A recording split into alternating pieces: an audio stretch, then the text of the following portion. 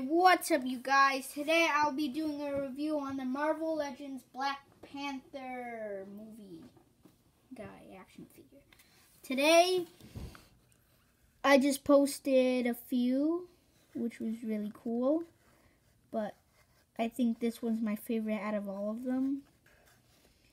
Uh, I really like the detailings on him, the articulation.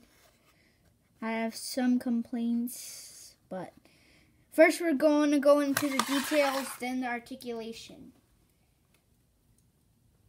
So, this is Black Panther. I really like him. Looks cool.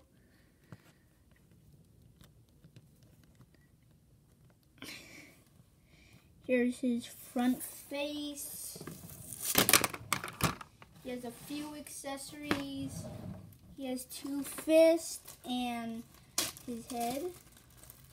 So here's his head. Really cool. I wish they would make it a little more darkish. We like it. Here's the fist. And the other fist. And this is him from the front view, like the detailings on it. I like the side view on him, looks nice. Other one side. The back, um, he looks cool except for a little paint right there, which annoyed me in the first place. Um, he is really cool. I really like him. Here he is. Downer part, the belt. So now the articulation. His head moves up this far, pretty far. Moves side to side and down this far. His shoulders kind of stiff. They move up this far is uh this part moves up this far. He has pivot on the wrist.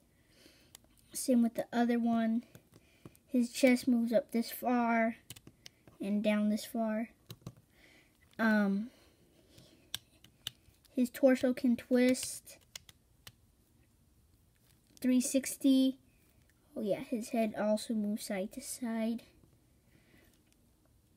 Here, it moves up this far. There's um, twisting pivot. Okay, here's my complaint. This part is loose whenever I try to stand him normal. It kind of goes down.